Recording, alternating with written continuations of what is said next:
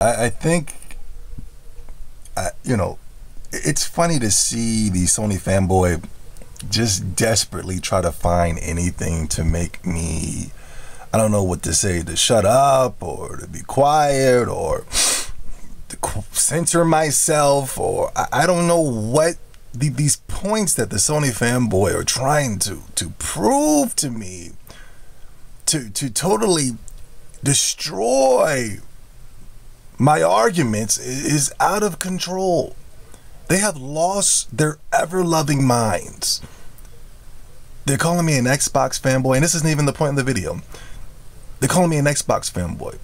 Yo, you don't hear the passion in my voice in every single one of my videos. You don't see the anger in my eyes. You don't see the worriness in my tone of voice for Sony to call me an Xbox fanboy, which is fine, which is cool. You know, I would prefer to be, if I'm going to be called a fanboy, I would prefer to be called a Nintendo fanboy. Nobody wants to call me that. Not that I am a Nintendo fanboy. I just, I just think it would be cooler to be, you know what I mean? I could do some serious trolling if I was called a Nintendo fanboy, but they won't call me that, which is messed up. Anywho, then they try to say, oh, what else have they tried to say? Oh, Zobe, we're, we're not going to go back to the glory days of Sony, so there's no need for you to make these videos and complain. And, you know, it's like they just don't have anything to combat what I'm saying because you know deep down in your soul that I am that dude. I am that Sony fanboy. I've experienced it. I've put in thousands upon thousands of dollars into the Sony brand. Now I've been waiting for somebody to say this and just guy golly, I have been blessed and somebody came in the comment sections and told me this. Zobe 70, you have to purchase a PlayStation 4. You have to purchase the Infamous. You have to purchase the indie games. You have to purchase every single piece of mediocrity that comes out of the PlayStation 4 in order to talk S-H-I-T about it. I said, got you. I got you. Thank you. Thank you. You know, like I said, I put in thousands and thousands of dollars into the PlayStation brand. I bought the PlayStation 1s. I bought about four of those. I bought the PlayStation 2. I bought about four to five of those. I bought the PSPs. I bought about three of those. I bought the PlayStation Vita. I bought one of those. I bought the PlayStation Go. I bought the Move Motes. I bought the games. Countless, countless again. I, I've kept Sony in business now that I see the now this is the reason why I will not buy a PlayStation 4 and this is the I usually day one I, I have a PlayStation product in my home. I remember we stole we couldn't get the PlayStation 2 so we stole it from Blockbusters. We had to, we had to pay a heavy fee for Blockbusters to get that mother sucker. You know what I'm saying? I want to say stole, but we took it, pretend like it would we lost to somebody stole it from us, and then we had to pay Blockbusters the, the fee. So we didn't steal it, but we you know what I mean? We pulled the fast one on Blockbusters to get the PlayStation 2 because it was sold out everywhere. And this is where I learned my mistake. I, I bought the PS Vita, uh, and the PS Vita didn't have any games.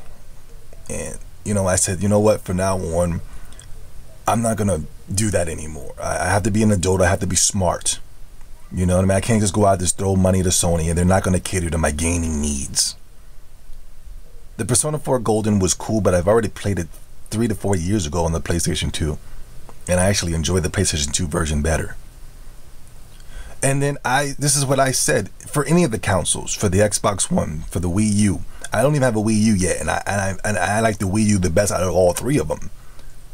And for the PlayStation 4, I said I am not going to purchase a console for this next generation if they are not going to cater to my gaming needs. The Wii U is right now, and I will be picking one up very shortly. Now, if you want to expose me, go ahead and expose me for not getting a Wii U because I've been saying it for the past months that I was getting one, and I still haven't purchased one yet.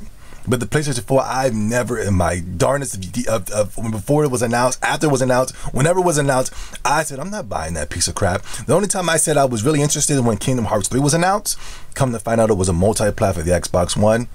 Now I don't give three craps about it. It's worthless. The game is junk. And another thing, if you go through every Xbox video, go to the Titanfall videos, go to the Xbox videos, you see Sony fanboys cluttering the comment section on the IGNs and the GameStops talking SHIT. Do they own one? No. They were talking smack before the council even came out. Now I know somebody comments, I own all the consoles. Well, congratulations, I'm not talking about you. Congratulations, you own all the consoles, but you own the games though? Do you own all the games? It's another video for another day. But to respond to this guy, yes, I can talk smack about the PlayStation 4. Why? Because I invested a lot of my hard earned money into all of the PlayStation products. That gives me the right to talk smack about Sony. If I'm not happy with Sony, I am going to voice my opinion. If you're not happy with Sony, you're not going to say anything.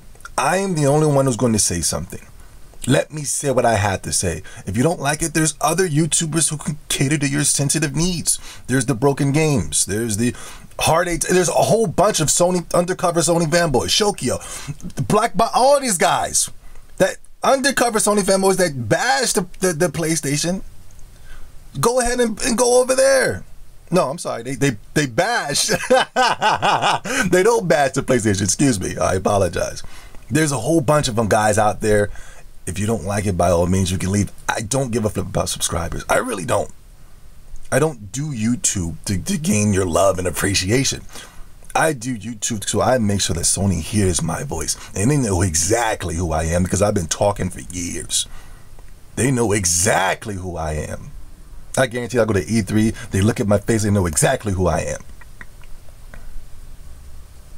I'd never let Sony pass. When they try to pass off mediocrity on this channel, I have never allowed them to pass off. Go through my YouTube history. If you're new here, go to my, my, my YouTube history. I've never given Sony a pass when they try to pass off mediocrity. And I've only been the only Sam fanboy to be able to do that.